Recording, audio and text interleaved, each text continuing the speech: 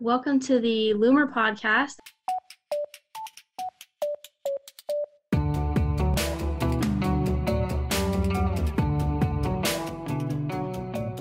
What did you guys listen to growing up? weird stuff.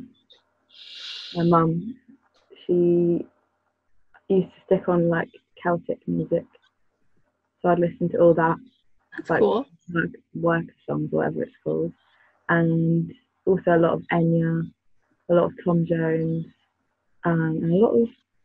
She grew up in Cyprus, so a lot of like Greek music.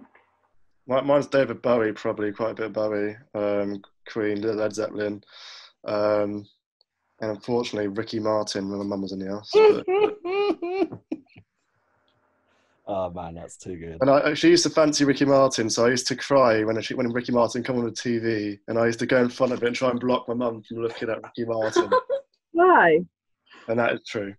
and I still will. I still will. Oh man, that's too good. I think I I listened to I I always again really distinctly remember listening to a lot of Avril Lavigne, which um, which I stand by. You know, it was the first, I think it was the first album I ever got. Um, I think my first album was either Avril Lavigne or Kelly Clarkson. Like one of uh, them. Kelly Clarkson. I still love Kelly Clarkson.